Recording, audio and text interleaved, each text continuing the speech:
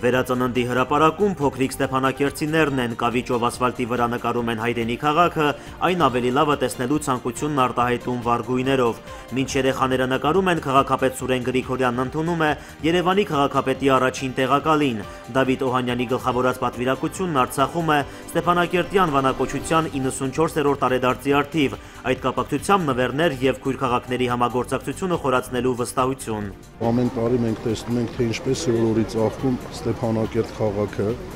եւ օգտվելով առիթից ուզում եմ Երևանի քաղաքապետ Տարոն Մարգարյանի անունից բոլոր երևանցիների անունից շնորհավորեմ Ստեփանակերտ քաղաքին, Ստեփանակարտցիներին այս հրաշալի օրվա արդիվ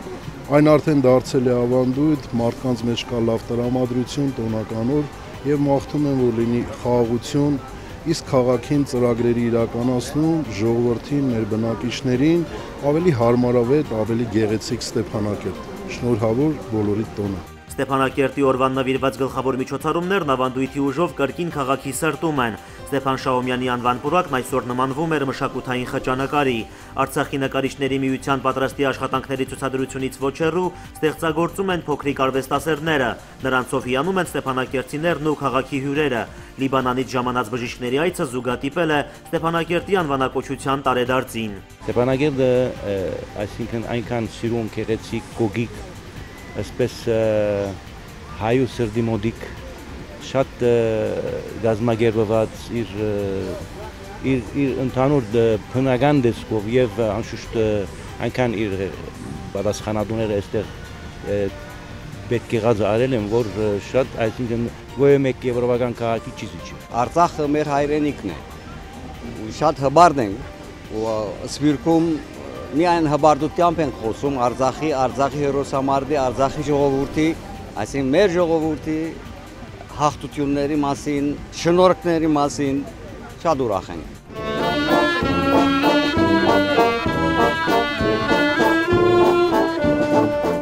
Ստեփանակերտի սրտում բարձր տրամադրությունը կրկին ապահովում է փողային նվագախումբը։ Տոնական հնչյունների ներքո բարձրաստիճան պաշտոնյաներն Արցախի հանրապետության նախագահ Բակո Սահակյանի գլխավորությամբ ծաղիկներ են խոնալել Ստեփան Շահումյանի հուշարձանին։ 1923-ին քաղաքն անվանակոչվել է ականավոր գործչի պատվին ստանալով Ստեփանակերտ անունը։ Քաղաքապետ Սուրեն Գրիգորյանի խոսքով Ստեփանակերտն Արցախի այցեքարտն է, այն մաքուր է եւ անվտանգ, որտեղ ենթակառուցվածքներն արդիականացվում են տարեց տարի։ Քաղաքը ինքնին բարդ օրգանիզմ է եւ մյուս բնակավարից տարբերում է հենց իր ենթակառուցվածքներով։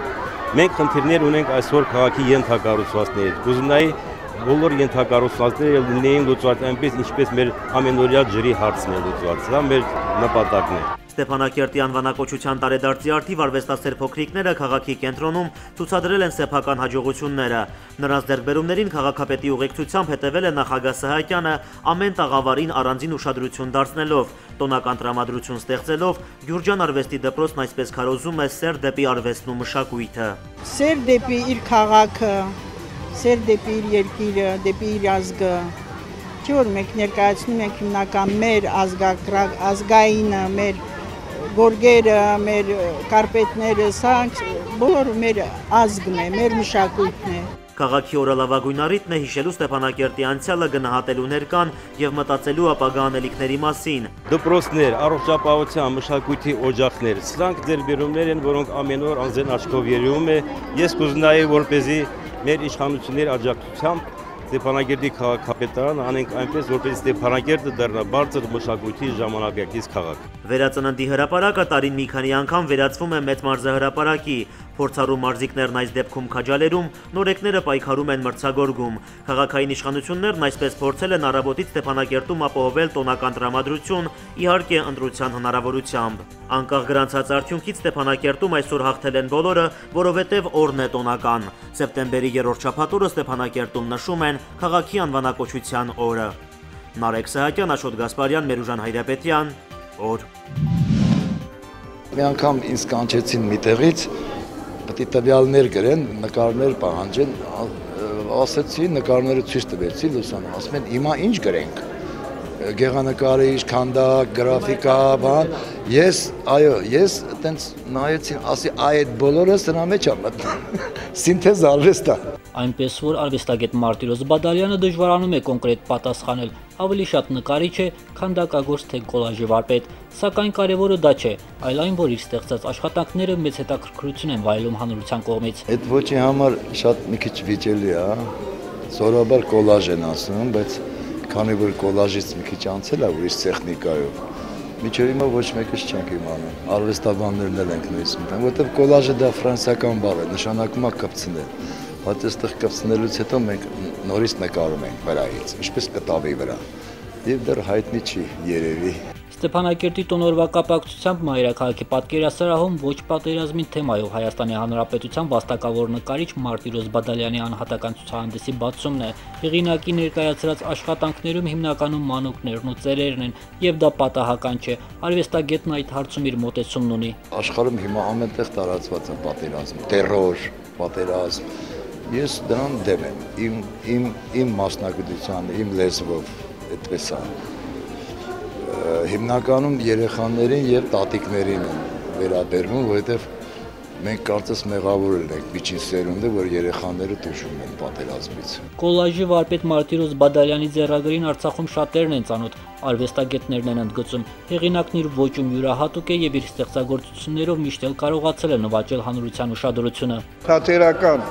նկարիչա, ես ճանաչում եմ Շուտվանից Մարտիրոսին։ Հա, Այսպես ուղղակի իր այս աշխարհա հայացքն է, իր ոչն է։ Շատ հետաքրքիր գործեր է ստեղծել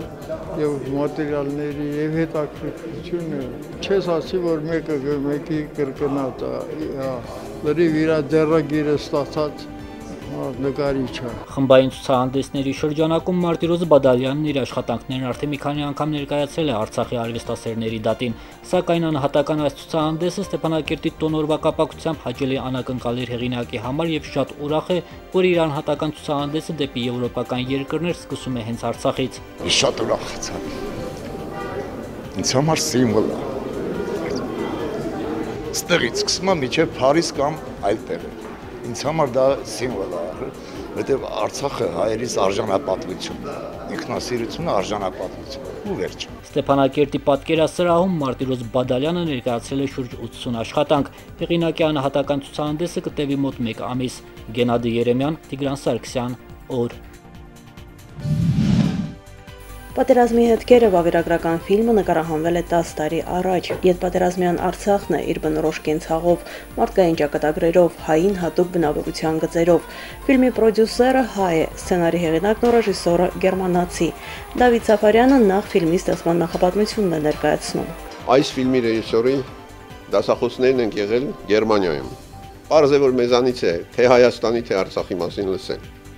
Եվ Հայաստանում Կուբայի մասին ֆիլմ արած Էլի մի քանի մրցանակ ստանալուց հետո Երևանում ուրեմն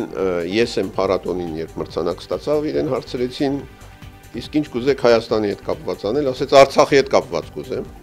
Պատերազմի հետքերը վերնագրված ֆիլմը կրում է առօրյա կյանքի պատկերներ գոյություն ունեցող երկրից խորագիրը։ Գերմանացի ռեժիսորը ցույց է տալիս, որ միջազգային ճանաչում չստացած, բայց փաստացի գոյություն ունեցող երկիրը հաստատակամ է իր ընտրած ճանապարհով ընթանալու։ Այդ առումով հատկանշական են Արցախյան տատիկների զրույցները, որոնց համար անդրամաբանական է պատերազմում զավակ կորցրած մոր համակեցությունը ադրբեջանցու հետ։ Դա դու ոնց ես պատկերացնում։ Պատասխան հարցն են ուղում իրենց նկարահանողին։ I made a film in Cuba. It was my. Ամենամեծ խնդիր ինձ համար նա էր, թե ինչն է երկիրը երկիր դարձնում։